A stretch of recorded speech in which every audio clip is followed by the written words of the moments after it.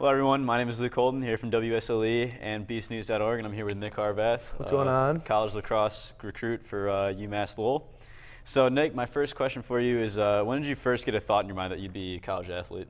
Um, you know, I played s- club lax in the summer f- since freshman year, so I mean, it's always a thought that I wanted to play college lacrosse. You know, I, lo- I love the game and I love the people around it, so I mean, it was always kind of a big thing for me to play college lax. So.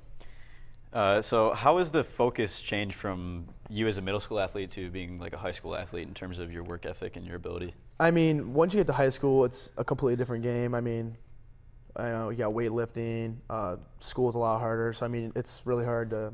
I mean, not hard, but I mean, it's a way to balance everything, you know, and Mhm. just you know, kind of create your own way of doing things. So, What's been your favorite part of the recruiting process so far?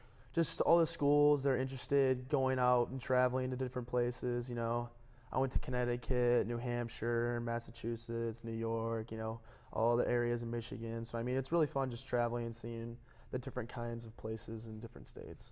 So, my next question is uh, when, do you, when did you know that UMass Lowell was your school? You know what? I had offers from a couple schools, but the big thing that kind of drew me to Lowell was, you know, the beautiful campus, uh, student size, and you know, um, just kind of the atmosphere. And uh, you know, it was just like I want to spend the next four years there, and I was just really excited to go there. How different do you think your schedule is going to be when you get to college next year? It's gonna be hectic. I can't lie. You know, I my brother played college lax for a year, and um, you know they had 6 a.m. lifts, practice. i mean, school. It's just, it's all about time management and getting everything done. When you first started talking to colleges, what were your sort of feelings towards becoming a recruit? It's exciting. I, I'm not gonna lie. You gotta enjoy the recruitment process, and you know, you're getting recruited by a school, which is a really cool thing. So I mean, you should just enjoy it. And, you know, have fun with it, but also take it serious, mm. because I mean, not everyone gets to have this privilege. Have you ever had times where you wanted to just quit and give up?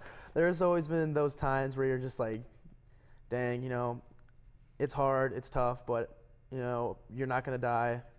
I hope, but I mean, it's always you know one more step and you're gonna be there.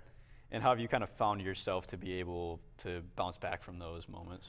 It's all about the people around you. You know, I've we like uh, Anthony Aloisio is going to Davenport. We have a good group of guys where we work out and everyone's pushing each other and just, you know, having fun and getting after it. Yep.